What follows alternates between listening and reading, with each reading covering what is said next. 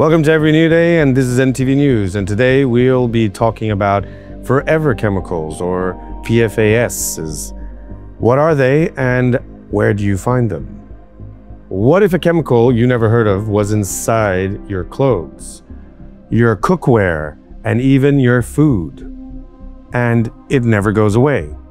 Today, we dig into the hidden world of forever chemicals, how they got here, what harm they may cause, and what you can do about it. This investigative report draws on recent exposés, peer-reviewed science, and global case studies. Let's begin. PFAS, short for per and polyfluoroalkyl substances, is a large class, thousands of synthetic chemicals designed to repel water, oil, stains, and heat. Polyfluoroalkyl substances, it's a mouthful. So we tend to call them forever chemicals. They're permanent, they live forever, they don't break down, they're not naturally found. These are synthetic chemicals that are completely man-made. They're altering us at a cellular level, they're endocrine disrupting, hormone disrupting. PFAS is a class of chemicals that were used originally as 3M Scotchgard and then uh, 3M sold it to DuPont who created Teflon from it. PFAS is the 9,000 variants of those two chemicals that they have created that get around the ban. Because of their strong carbon fluorine bonds, many PFAS are extremely persistent. They resist degradation in the environment and can accumulate in living systems. PFAS are often called forever chemicals, for good reason. Once released, they can linger for years or even decades. Some familiar uses, such as found in non-stick cookware or Teflon coatings, stain or water-resistant fabrics, grease-resistant food packaging, firefighting foams, and even more. Because they are used in so many products and industrial settings, PFAS gradually leak into the air, land, water, soil, and food chain. Now that we know what they are, let's see where they show up, often where we least expect them.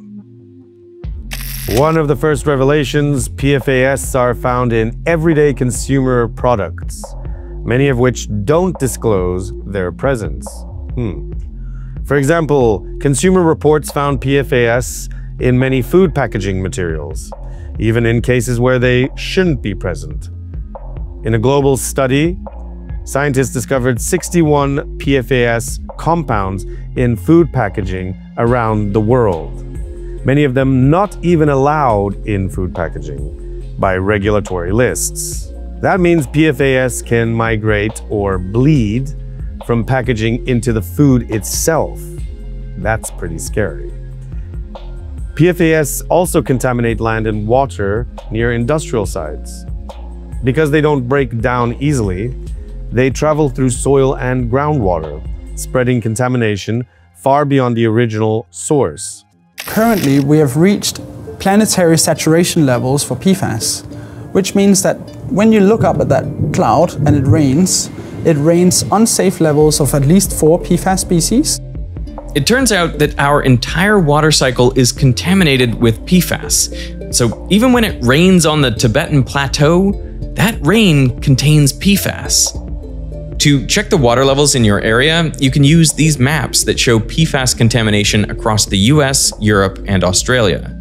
In one dramatic case, firefighting foam, or AFFF, used at military bases or airports has been a major PFAS source to water systems. We'll revisit this case shortly. The US Government Accountability Office even calls PFAS perhaps the biggest water problem since lead. But perhaps the most insidious pathway is through what we eat and drink. Recent studies increasingly point to food and drinking water as major exposure routes for PFAS. One 2025 study of California adults found that while exposure to older PFAS types have declined in many foods over decades, seafood, eggs, and brown rice still contribute measurably to PFAS burden. Another longitudinal study examined how diet patterns relate to rising PFAS levels over time. The authors found that higher consumption of tea, processed meats, and food prepared outside the home, i.e., in packaging, for instance, was correlated with higher PFAS blood levels. Interestingly, eating more home prepared food was associated with lower PFAS levels in some cases.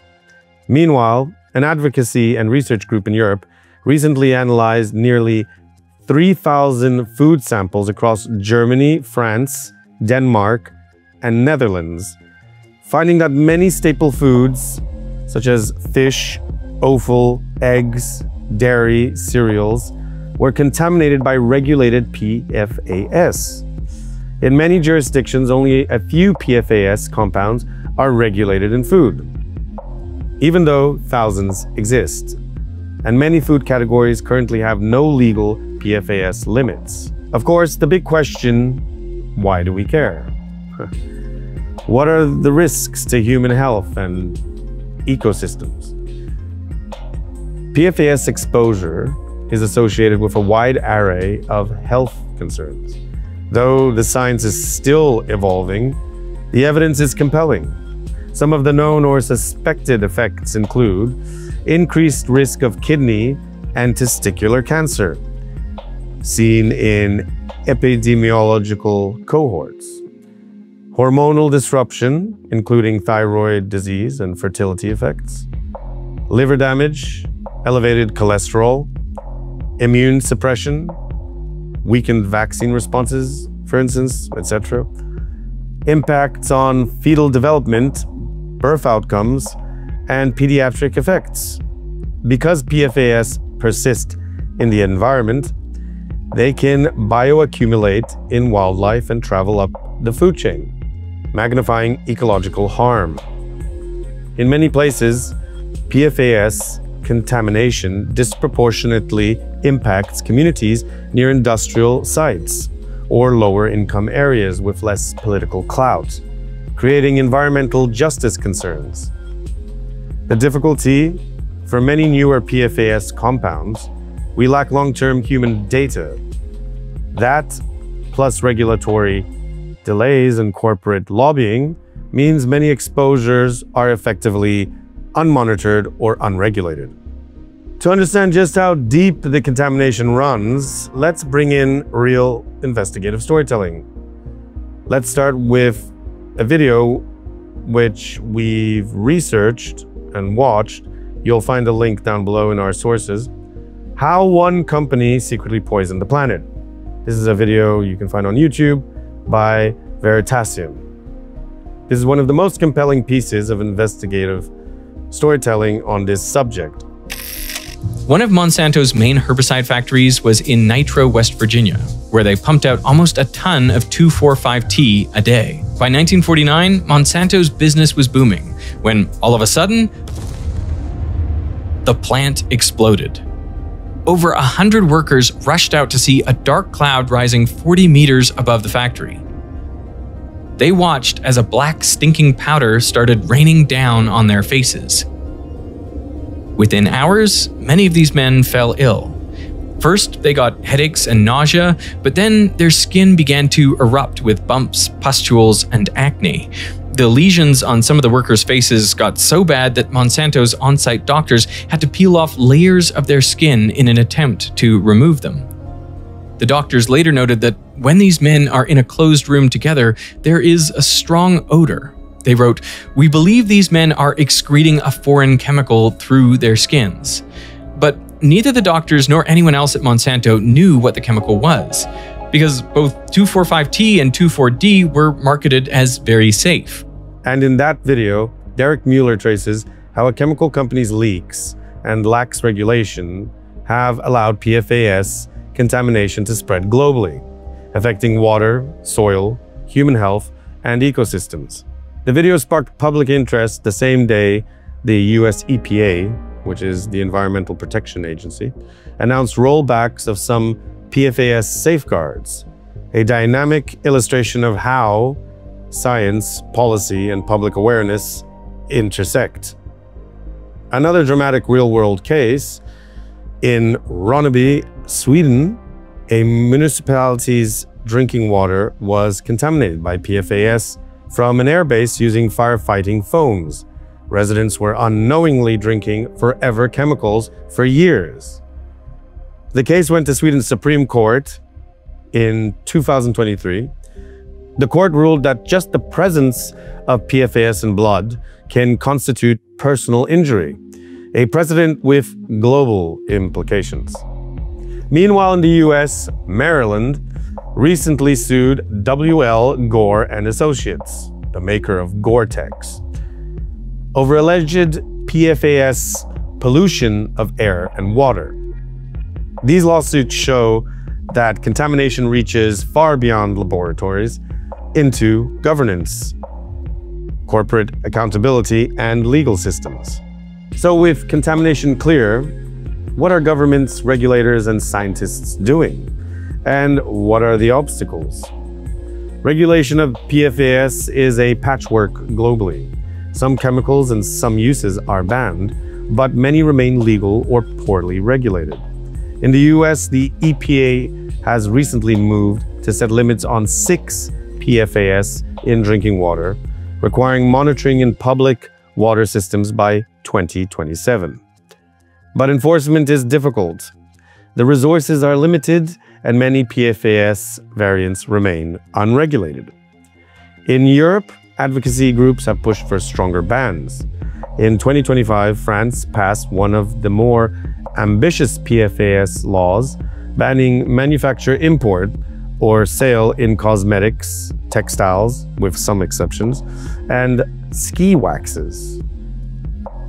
What? With a plan to phase out PFAS in all textiles by 2030. But even that law exempts cookware, a notable compromise. On the remediation side, one promising technology is thermal destruction, using high heat to break the carbon fluorine bonds. For example, the US EPA is testing a two-story furnace for PFAS destruction. But challenges abound if incomplete. Combustion may produce toxic byproducts. Costs are high. Identifying all PFAS in waste streams is difficult, and even after treatment, residual contamination may remain. I really worry that so many people are having this, being exposed to this, drinking this, and they have no way of knowing. You can't taste it, you can't smell it, you can't see it. Our chemical and regulatory system has failed us. In the scientific domain, better sensors are being developed. For example, ultrasensitive detection of PFOA, which stands for perfluorooctanoic acid. It is one of many of man-made chemicals known associated, such as PFASs. Also, new modeling, such as geospatial deep learning, helps predict PFAS spread in waterways to guide cleanup prioritization.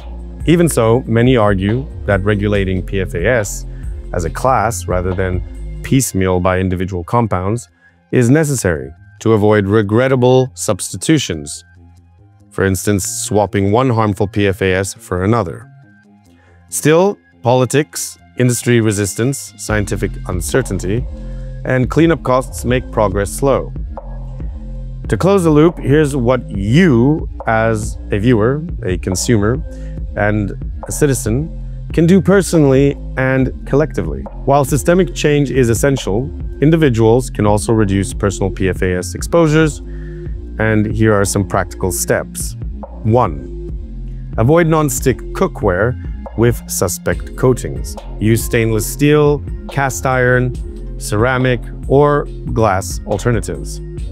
2. Limit use of packaged grease-resistant wrappers, like takeout boxes, microwave popcorn bags, These often use PFAS.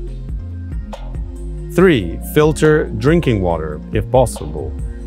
Technologies like reverse osmosis or granular activated carbon can reduce PFAS levels, with some caveats.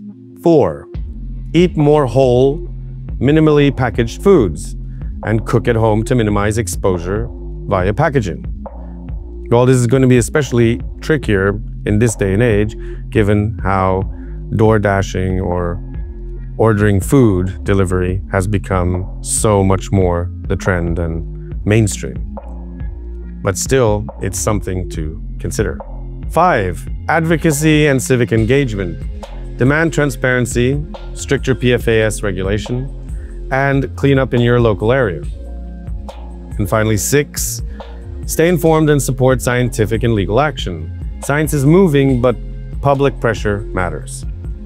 In summary, PFAS contamination is not a future threat. It's here, embedded in our products food, water, and bodies. Through investigative journalism, science, and collective pressure, we can push for accountability, remediation, and safer chemical policy. If you found this video helpful, please give it a like, subscribe for more, and share.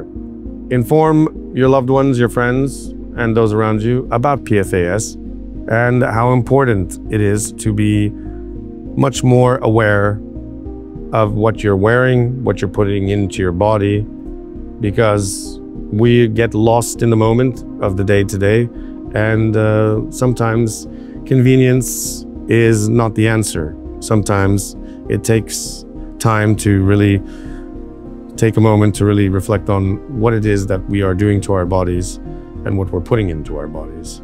Check our sources below. There will be the two links to very specific videos that relate to this, which are very enlightening, and some other interesting links. Thank you, and stay safe and stay curious. This was ENDtv.